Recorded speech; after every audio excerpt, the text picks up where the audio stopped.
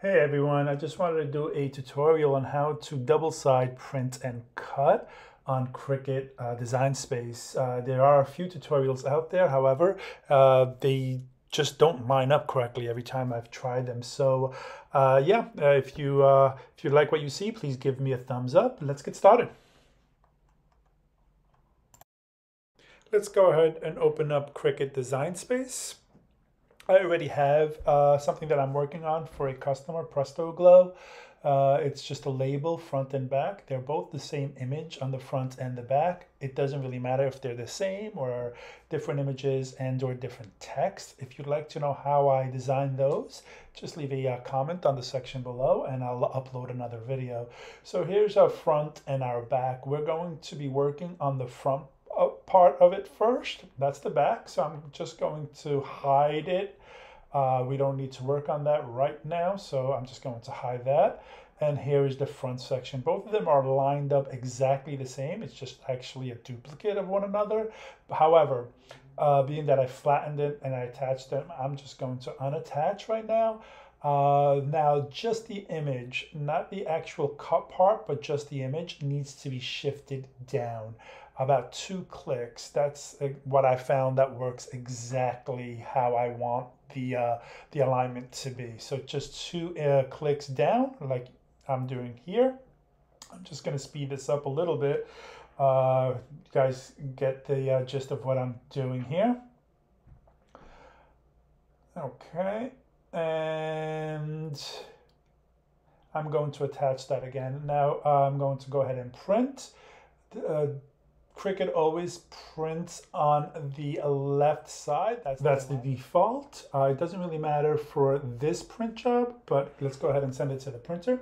Now I never, I uh, always make sure that you click the right printer and I don't put an, bleed. So let's go ahead and print. Okay.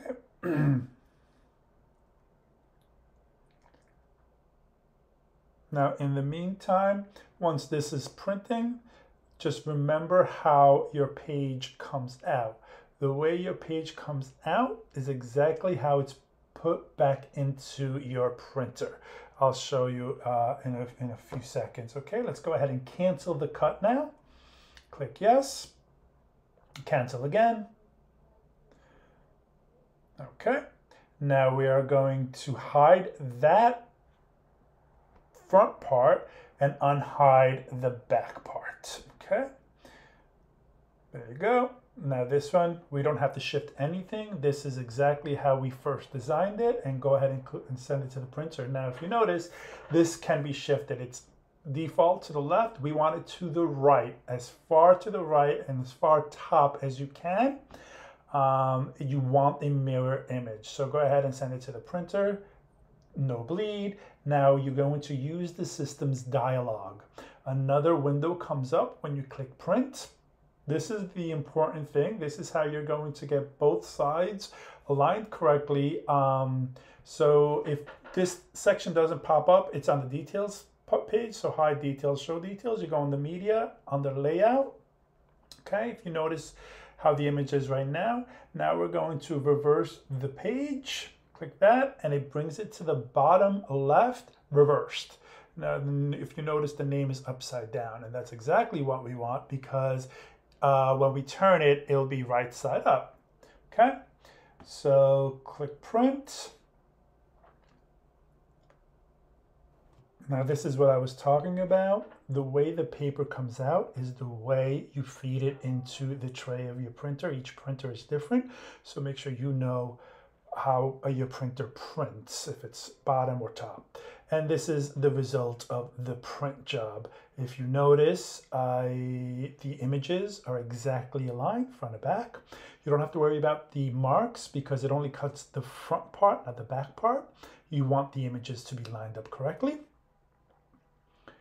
And let's go ahead and put it to the printer. Now, sometimes we need to make sure that we line the paper on the mat correctly. So just go under your edits part. Notice my uh, paper is lined correctly. And feed it into your Cricut machine. I'm just gonna speed this up a little bit. And here are our results. Front and back aligned exactly centered. It's great for a sticker. Uh, if they're front and back stickers, they're great for labels, clothing labels. We could put a hole on the top um, for clothing labels. So yeah, thank you again, guys. I appreciate your views. And uh, again, follow me on Instagram at peppe.designs and have a great day.